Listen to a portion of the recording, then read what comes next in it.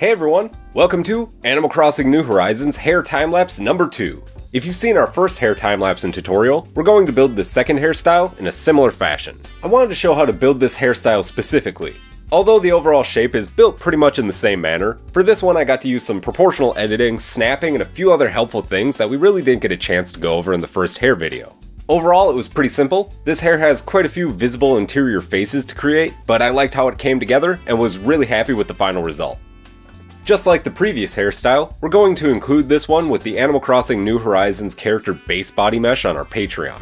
It's free to download for everyone, you just have to have a Patreon account, which is also free. And if you don't want to make a Patreon account, I can email the files to you directly. Alright, I'll catch back up with you at the end. Temporary goodbye!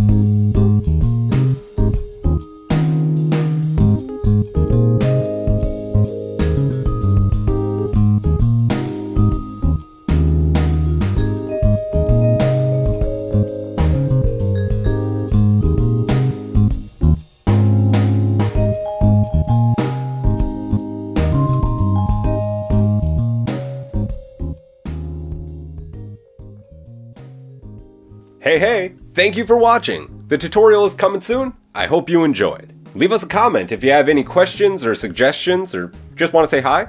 Like the video and subscribe and stuff. Thank you again, stay safe, I love you all, goodbye!